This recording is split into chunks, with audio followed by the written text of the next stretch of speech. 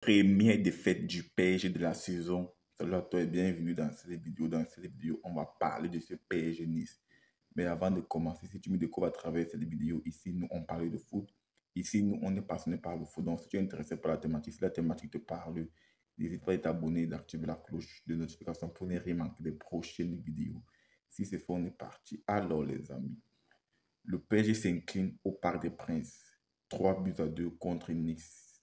Franchement, on a vu une équipe, de Nice vaillante, courageuse, qui a vraiment, qui a euh, mis le PSG en difficulté.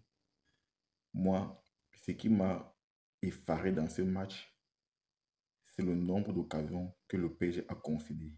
Nice a tiré 14 faux buts. 14 fois pour 8 tirs.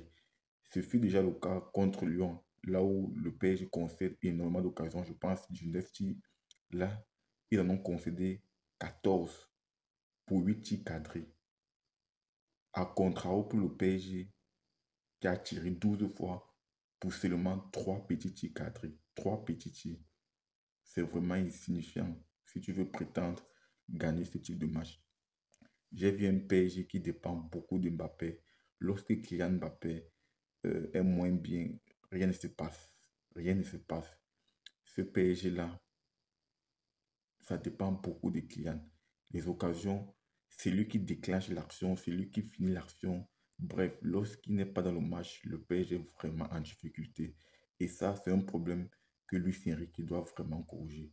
Luis Enrique doit corriger ce problème s'il veut, veut vraiment aller loin en Ligue des Champions parce que il sera rapidement contré. Les équipes adverses vont rapidement étudier son jeu parce que ça dépend beaucoup trop de Mbappé. Beaucoup trop.